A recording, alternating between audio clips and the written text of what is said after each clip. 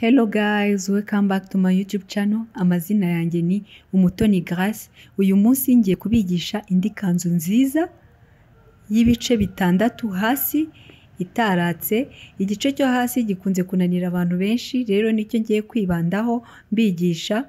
Ngiye kubigisha ukuntu bakora patro nifashishije ibipapuro kugira ngo mubashe kubyumva neza birushijeho. Urabanza ugahina umwenda wawe kabiri nk'uko nguko ndi kubigenza.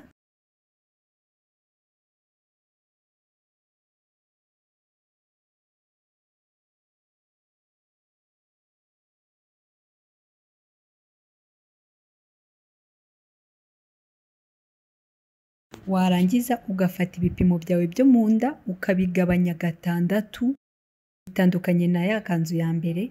Aha ho ugabanya ibipimo byawe gatandatu n'ibyo muri taye yawe ukabigabanya inshuro esheshatu. Warangiza ukamanuka mu mavi n'ubundi ibipimo byaho ukagabanya gatandatu. Warangiza ugashushanya neza ugahuza ugahuza ibipimo byose noneho hasi wahagera utaratsaho gatoya wifashishije ibipimo byo mu mavi ukongeraho gato. Ntabwo wongeraho runini cyane wongeraho agatisi gatoya. Kugira ikanzu yawe hato itaza kuba itaratse cyane bikabije. Ubundi ugahuza nk'uko nguko mubibona muri videwo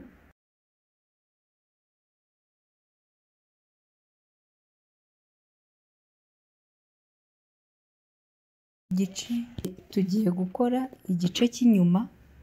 Igice cy'inyuma rero urambika umwenda wawe warangiza ugashushanya neza. Noneho tugiye gukora ibice byo mu mpande kuko iyi kanzu ifite ibipande bitanu ariko bakunze kuyita si pariti ibice byo mu mpande rero urabanza ugashushanya cya gice cy'imbere nk'uko mubibona aho ngaho. Ukurikiye neza wabonye ko ku ruhande rwo muri taye narangije kuhashushanya noneho ndi gushushanya n'imbere nkoresheje iyo maka ya papu iyo urangije uhita uhinduranya pariti yawe y'imbere. Ahangaha mugomba kuhitondera cyane. Iyo uhinduranyije pariti y'imbere ushushanya uvuye mu mavi uzamuka.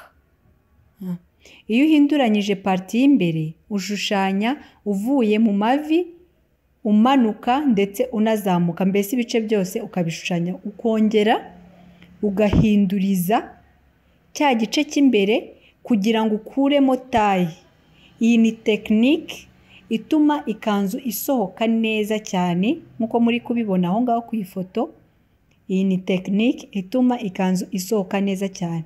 Kuko iyo ubirambuye byose ni hahandi ikanzu urayambara pe. Ariko ntabwo aba ari nziza cyane nta kintu cya sipesiyare iba ifite.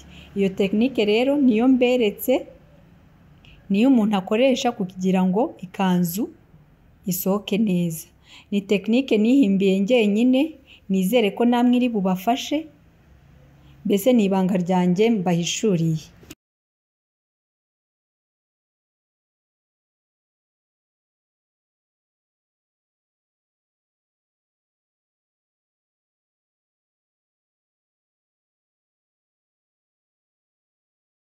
Aho ngaho ni ibice bitatu by'imbere icyo hagati na bibiri byo ku ruhande. Murabona ukuntu bikase.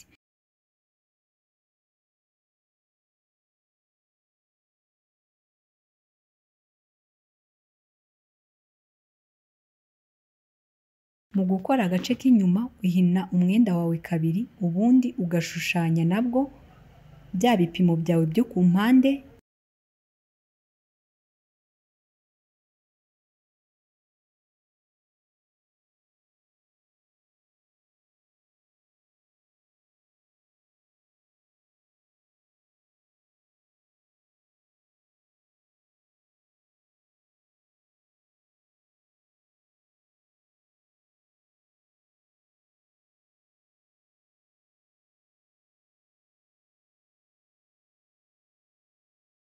ushushanya neza ku mpande ubundi ugahita uza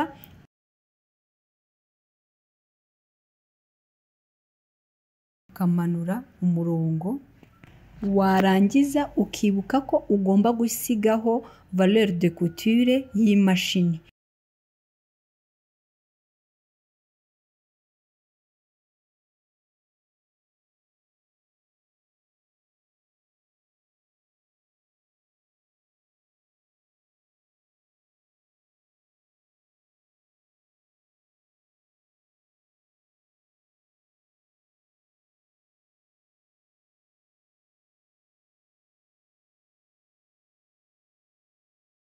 Kuko iki gice ni igice cy'inyuma. Murabona ko nabyanditseho ni zipu ni igice cy'inyuma ntabwo ugomba kubyitiranya n'ibindi bice byose. Warangiza naho ukahahereza terene igice cy'inyuma na cyo kiba gikeneye ibindi bice bibiri byo ku ruhande uraza ugafata bya bindi bibiri twashushanyije mbere byo ku mpande ukabisubiramo bwa kabiri. Ubwo uhita ugira ibice bisa gutyo bine.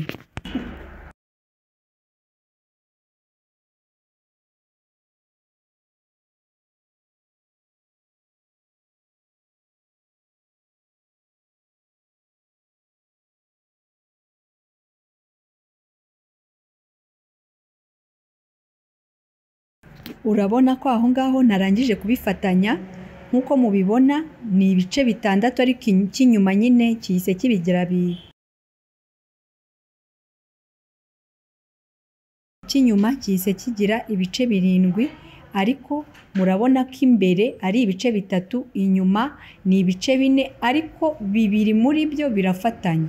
Ubwo iyo urangije kubikora gutyo ushyiramo uburebure ushaka warangiza ugahereza ikanzu yawe terene ushaka. Sisiteme niyo bakoresha iyo bari gukora amakanzu y'abageni cyangwa andi makanzu meza yo kujyana mu bukwe.